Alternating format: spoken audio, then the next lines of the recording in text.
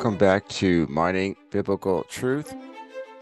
As we could, as we conclude uh, our uh, series on uh, Christopher Watkins' book, Biblical Critical uh, Theory, with chapters 27, 28, and conclusion. Uh, and this is eschatology uh, part two.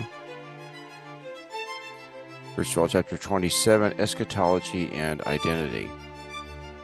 The key question is, who am I? Uh, late uh, modern identity is uh, commoditized. Uh, inner self awareness is nothing outside of me can define me. As Descartes said, I think, therefore I am. It's a possessive individualism. I owe nothing to society, uh, according to Hobbes and Locke.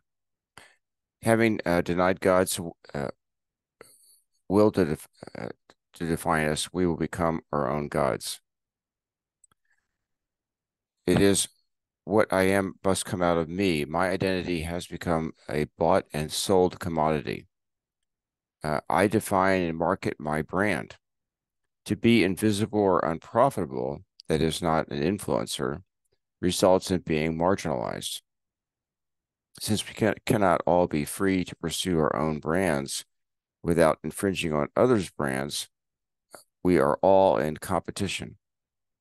Rather than being seen as valuable, other people become a hindrance to us. In modern or postmodern culture, it is us versus them.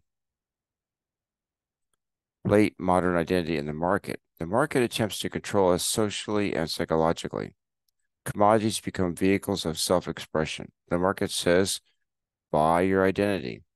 God's word says, you are not your own, for you were bought with a price. So glorify God in your body, 1 Corinthians 6, 19 and 20.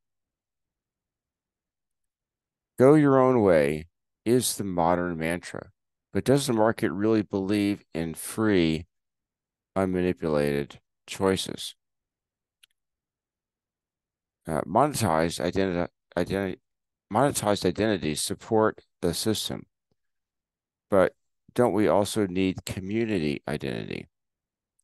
Monetized identities, uh, Watkins suggested that even this need is commoditized because our communal identity is as one of those who show that they go their own way by buying X product. Paraphrasing C.S. Lewis, the power to make ourselves enables other men to make us what they please. Paradoxically, even attempts to expose the system can be commoditized to support the system. Christian identity as doxological disposition. That is, you are what you love. For Augustine and Christ, the question, whose am I, is more important than who am I. Previously, we discussed the scene where Jesus asked whose image is on the coin to support uh, renting unto Caesar what belongs to him. But what image is on you? My take is there is a subconscious discomfort with only looking inward to define ourselves. I think subconsciously we sense that it does not provide us with peace. What I call peace, Watkin calls coherence. C.S. Lewis said, I become myself only when I give myself to another. My take is giving ourselves to Jesus is the first step that enables us to give ourselves to others. It is only when God fills our cup that we can pour out to others. We find out who we are via our relationships, who and what we love. And Paul said in 1 Corinthians 15 10, but by the grace of God, I am what I am, and his grace toward me was not in vain. In Galatians 2:20, I have been crucified with Christ. It is no longer I who live, but Christ lives in me. The life I now live in the flesh, I live by faith in the Son of God, who fought, who loved me and gave himself for me. The core of otherness in the Christian is the form of Christ takes form in us. It's a mystery. The self is now in Christ. our identity transitions from being intrinsic in us to extrinsic in Christ. Christian identity is eschatological anticipation. When we die to self, we become hidden in Christ. We exist in anticipation of the fulfillment of our sanctification. The Greek word translated in for the phrase in Christ is actually the word for into. We now exist only into Him. If our self is not possessed but is into Christ, then we cannot be commoditized because Christ cannot be commoditized. So we have the self assertion renunciation dichotomy. On the one extreme, we have self assertion, on the other, self renunciation. Uh, self assertion uh, essentially says, He who saves his life will save it. In self renunciation, he who loses his life will lose it. Uh, but this is diagonalized by doxological disposition possession which says, Whoever loses his life for my sake will find it. By being into Christ now, I don't have the crushing burden of fully expressing myself or fully understanding myself. The modern woke person must achieve self justification, which shows why they are so desperate for validation by others. I also don't have to buy a brand to define myself. Going on to chapter 28, eschatology and culture. Revelation 7 9 through 10 says, I had a vision of a great multitude from every nation, race, people, and tongue. They stood before the throne wearing white robes and holding palm branches in their hands, crying, Salvation comes from our God who is seated on the throne and from the Lamb. The key features of this scene people have not lost their racial, ethnic, differences. All are united in their object of praise. They have unity in spite of diversity. Watkin his argument on two negative and one positive statements. Negative statement number one is biblical truth is not a cultural. Worship in God's presence is not abstracted from cultural identities. Watkins said, quotes, We do not shed our culture like a skin when we enter heaven. Negative statement number two biblical truth is not monocultural. There is no single culture that is perfectly suited to receiving the gospel. Revelation 21 3 Behold, the tabernacle of God is with men, and he will dwell with them, and they shall be his people. God himself will be with them and be their God. Quoting Miroslav Volf, religion must be de ethnicized so that ethnicity can be desacralized. Certainly, a lot of uh, emphasis on the uh, sacralization of ethnicity in today's culture. How do you respond when you read something in scripture that makes you uncomfortable in your in your culture? Well, you should be rejoicing that the Bible is not conforming to just to just one culture aware of the fact that the Bible is convicting all cultures of cultures of sin. The third and positive statement is that biblical truth is transcultural. Graham Ward said this presupposition of biblical hermeneutics is that universal meaning exists independent of but accessible through our through all cultural expressions of meaning. So we have the cultural comparison dichotomy. On the one extreme, cultural imperialism, one culture is superior, and on the other, cultural fetishism, all cultures are strictly equal. The Bible affirms some aspects of all cultures and critiques aspects of all cultures. The transcultural gospel diagonalizes this uh, dichotomy. Uh, Lamin Sanneh said Christianity helped Africans become renewed Africans, not remade Europeans. Eschatology, diversity, and integration.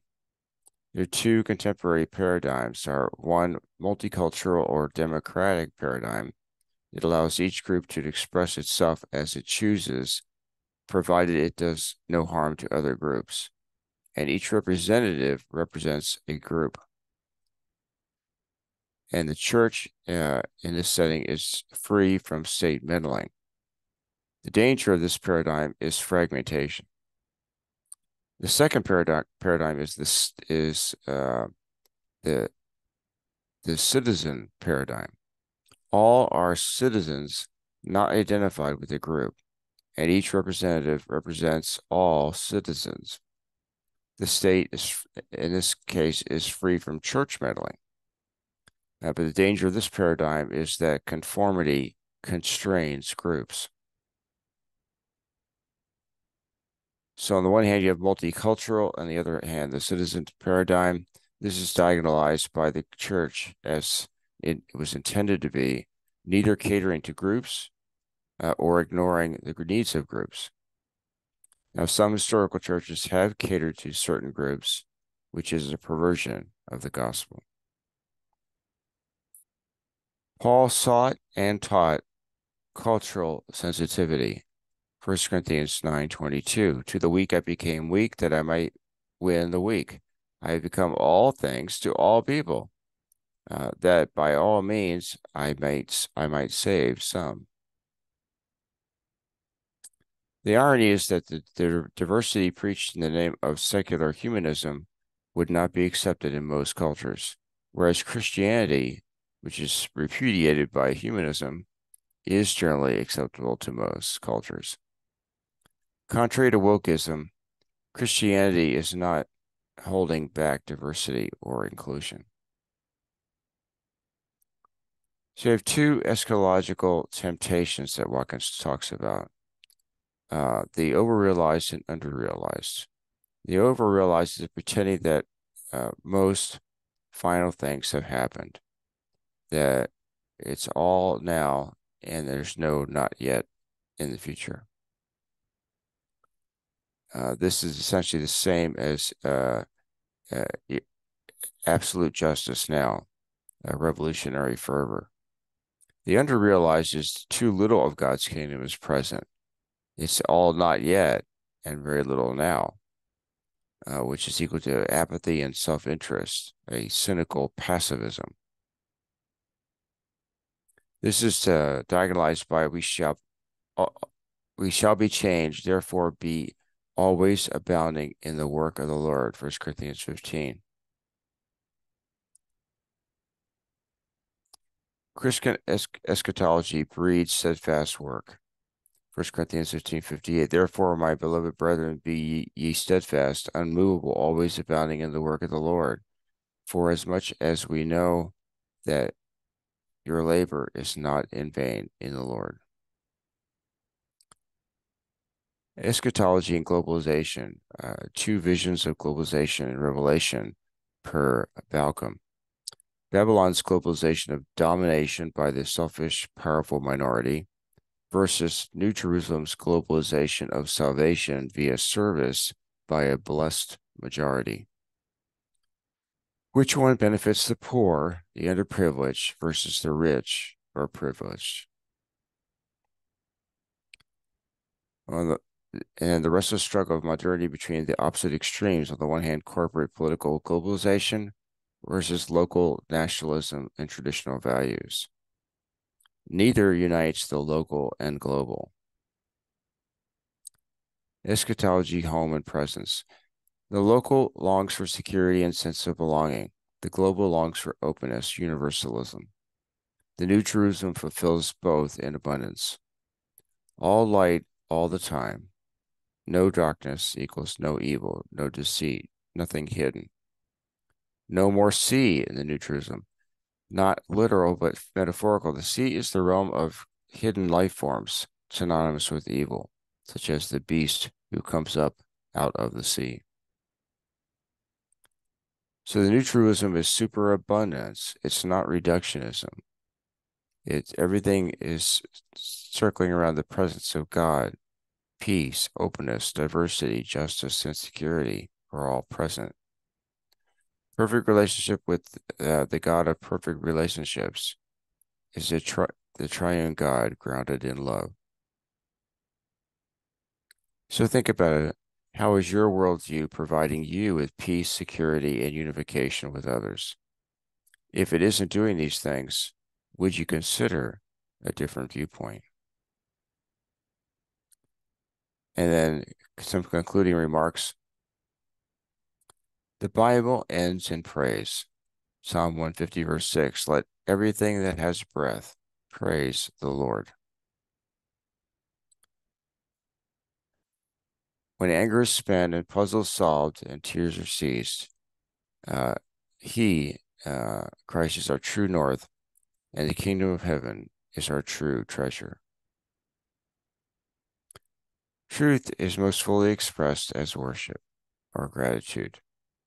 As in the words of Helen Lemmel, turn your eyes upon Jesus, look full in his wonderful face, and the things of earth will grow strangely dim in the light of his glory and grace.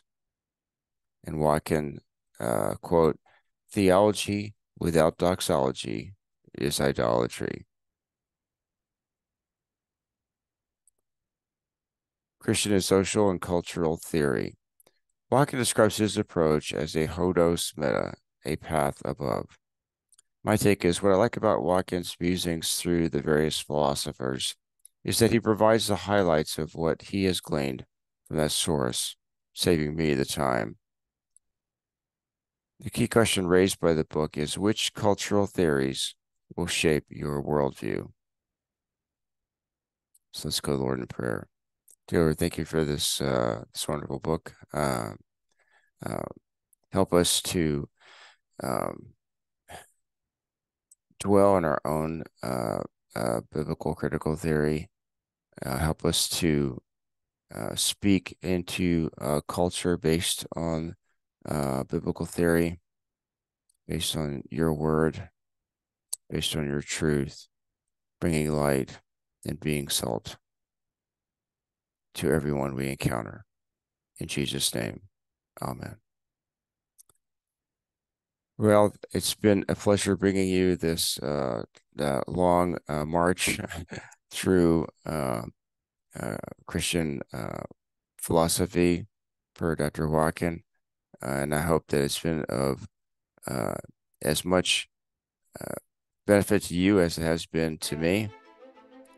And as always, you welcome your uh, your comments uh, on YouTube or directly at info at biblewinding.org.